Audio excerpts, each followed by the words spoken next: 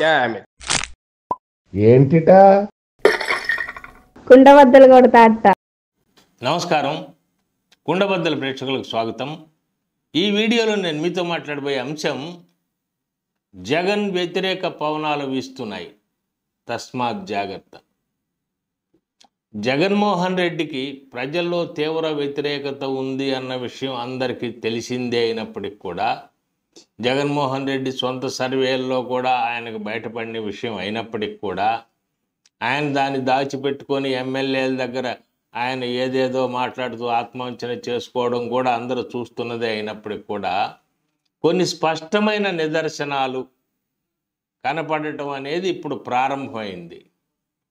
జగన్మోహన్ రెడ్డికి మరి ఇప్పటి వరకు అనుకూలంగా ఉన్న అనేక వర్గాలు ప్రజలు కాకుండా ఉద్యోగుల్లో కానీ ఉద్యోగ సంఘాల్లో కానీ ఇతరత్ర వర్గాల్లో కానీ కొంతమంది మరి మాజీ అధికారుల్లో కానీ లేకపోతే తిరుపతిలో అర్చకుల్లో కానీ ఇట్లా రకరకాలుగా వే వేరియస్ సెక్షన్స్ ఆఫ్ పీపుల్ ఉదాహరణకు ఒకప్పుడు చంద్రబాబును దించడానికి రెండు వేల పంతొమ్మిదికి ముందు జగన్మోహన్ రెడ్డికి అనుకూలంగా చంద్రబాబుకు వ్యతిరేకంగా ఉన్నవి లేనివి పెట్టి గొడవ గొడవ చేసి ప్రెస్ మీట్లలో మాట్లాడి పుస్తకాలు రాసి ఇలా చేసిన వాళ్ళందరూ కూడా జగన్మోహన్ రెడ్డికి వ్యతిరేకంగా మాట్లాడుతున్నారు. ఈరోజు ఐవైఆర్ కృష్ణారావు కానివ్వండి మరి ఉండవల్లి అరుణ్ కుమార్ లాంటి వాళ్ళు కానివ్వండి లేకపోతే వైసీపీ చేసిన ఆరోపణలే తిప్పి తిప్పి ప్రెస్ మీట్లు పెట్టి మాట్లాడిన బీజేపీ స్థా ప్రాంతీయ నాయకులు కానివ్వండి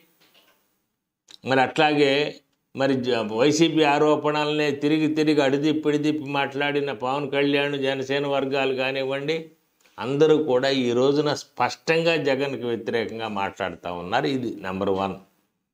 నెంబర్ టూ ఉద్యోగుల్ని బడిత తీసుకొని బాధినట్టుగా బాధినా కూడా జగన్మోహన్ రెడ్డి గారు ఉద్యోగ సంఘాల నాయకులు. మరి జగన్మోహన్ రెడ్డికే జైగొట్టి జగన్మోహన్ రెడ్డితో చర్చలు సజ్జల రామకృష్ణారెడ్డితో చర్చలకు వెళ్ళి వాళ్ళు ఇచ్చిందే తీసుకుంటామని చెప్పి మరి ఇటు ఉద్యోగులకు న్యాయం చేయలేక అటు గవర్నమెంట్కి జగన్మోహన్ రెడ్డికి ఎదురు తిరగలేక అటు ఇటు కాకుండా మాట్లాడిన నాయకులందరూ కూడా ఇప్పుడు జగన్మోహన్ రెడ్డికి స్పష్టంగా వ్యతిరేకంగా మాట్లాడుతూ ఉన్నారు. మరీ ముఖ్యంగా సచివాలయ ఉద్యోగుల సంఘం నాయకుడు వెంకటరామరెడ్డి అనే కుర్రాడు మరీ ముఖ్యంగా జగన్మోహన్ రెడ్డి విషయంలో అతను ఇష్టం వచ్చినట్టు మాట్లాడాడు. అసలు హైకోర్టు న్యాయమూర్తులకి అతను మర్యాద ఇస్తున్నాడంటే ఏదో పోన్లే పాపమని అంత చండాలంగా మాట్లాడిన వాడికి కూడా ఈ రోజున ఉద్యోగుల్లో నాయకుల పట్ల ఉన్న వ్యతిరేకత తెలియజేసే అంశం ఒకటి. సచివాలయంలో ఎస్ఓలు అంటే సెక్షన్ ఆఫీసర్ల సంఘం ఎన్నికల్లో వెంకటరామరెడ్డి బలపరిచిన అభ్యర్థులందరూ చిత్తు చిత్తుగా ఓడిపోయారు. అతని వ్యతిరేక వర్గం వాళ్ళు గెలిచారు. అంటే దీని అర్థం ఏంటి? జగన్మోహన్ రెడ్డికి ఉద్యోగులు పూర్తి వ్యతిరేకతగా ఉన్నారనేది స్పష్టత రావడం. మరి నాయకులు జగన్మోహన్ రెడ్డికి అనుకూలంగా మాట్లాడినప్పుడు కూడా నాయకులని కూడా వ్యతిరేకిస్తున్నాము అన్న విషయం బయటపడటం. అందుకే ఇప్పుడు జగన్మోహన్ రెడ్డి అనుకూలురు చాలామంది మొదట్లో రెచ్చిపోయినంత రెచ్చిపోకుండా ఇప్పుడు చాలా వరకు వయా మీడియాగా ఉన్నవాళ్ళు కొంతమంది ఉంటే సైలెంట్ అయిపోయిన వాళ్ళు కూడా ఉన్నారు. ఇప్పుడు అందుకే అనుకూలురు ఎవరైనా ఉంటే వాళ్ళు తస్మాత్ జాగ్రత్త. ఇంకా ఎక్కువగా రెచ్చిపోకూడదు. ఎక్కువగా రెచ్చిపోతే భవిష్యత్తులో తిరిగి నష్టపోతారు. ఎవరు ఎవరికి ఇష్టం వచ్చిన వాళ్ళకి వాళ్ళు ఓట్లు వేసుకోవచ్చు ఇష్టం వచ్చిన నాయకుల్ని గెలిపించుకోవడానికి కృషి చేయవచ్చు వాళ్ళకు అనుకూలంగా మరి ప్రకటనలు చేయవచ్చు. కానీ ఒక రకమైనటువంటి ఉగ్రవాదం లాంటి ఒక వ్యవహారాన్ని జగన్మోహన్ రెడ్డి రాజకీయాల్లో తెరపైకి తీసుకొచ్చాడు. మరి పబ్లిక్గా పృథ్వీరాజు లాంటి వాళ్ళు నేను హార్డ్ కోర్ టెర్రరిస్ట్ లాంటి వాడిని వైసీపీకి అని చెప్పుకున్నాడు అంటే అది నిజంగా అతను చెప్పుకున్నాడు పాపం. చెప్పుకున్న తర్వాత ఇవి కూడా బాలగొట్టించుకున్నాడు అతను చెప్పుకోన్నాడు మిగతా వాళ్ళు చెప్పుకోపోయినప్పుడు కూడా హార్డ్ కోర్ టెర్రరిస్ట్ లాగే ప్రవర్తించారు వైసీపీ అనుకూలులు అందరూ కూడా. ఇప్పుడు వాళ్ళ వాళ్ళ జోరు తగ్గింది. కారణం ఏంటంటే వ్యతిరేక పవనాలు వీస్తున్న సంగతి స్పష్టంగా కనపడతా ఉంది. మరి రమణ దీక్షితులు అనే తిరుపతిలోని ప్రధాన అర్చకుడిగా పనిచేసిన వ్యక్తి చంద్రబాబు అరవై ఐదు సంవత్సరాలకి రిటైర్మెంట్ పథకం తీసుకొచ్చిన తర్వాత ఆయన రిటైర్ అయిపోయి యాట్ నేను జీవితాంతం ఉంటాను నన్ను రిటైర్ చేస్తాడా అని చంద్రబాబును వ్యతిరేకించి మరి హైదరాబాద్లో జగన్మోహన్ రెడ్డి ఇంటికి వెళ్ళి అక్కడ సాగిలపడి నాకు జగన్మోహన్ రెడ్డి భోజనం పెట్టాడు ఎవరు భోజనం పెడితే వాళ్ళకే పని చేస్తాను నేనని చెప్పి ఆయనకు భోజనం కరువా. భక్తులు ప్రైవేట్ గెస్ట్ హౌస్లో తీసుకెళ్ళి భక్తులను అక్కడ ఆశీర్వచనాలు అందజేసి శేషవస్త్రాలు ప్రసాదాలు అందజేసి వాళ్ళు ఇచ్చిన డబ్బులు భోంచేసిన స్వామికి మరి అదేదో చాలా ఖరీదైన కారులో తిరుగుతాడంట ఆయన మరి. ఇదంతా కూడా బయటకు వచ్చినాయి అప్పుడు.